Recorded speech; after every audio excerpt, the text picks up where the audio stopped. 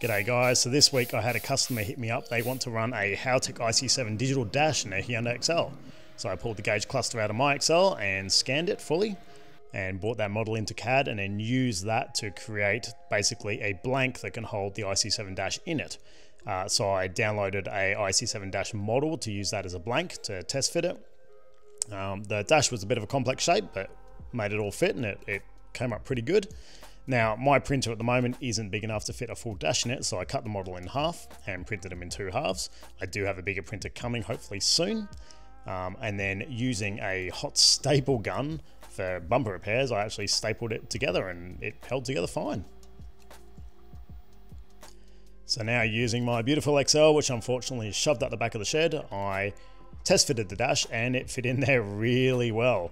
Um, yeah, it mounted up perfect, looks great. This is without the trim. And then with the trim, it works great. I can't wait to see an IC7 in there.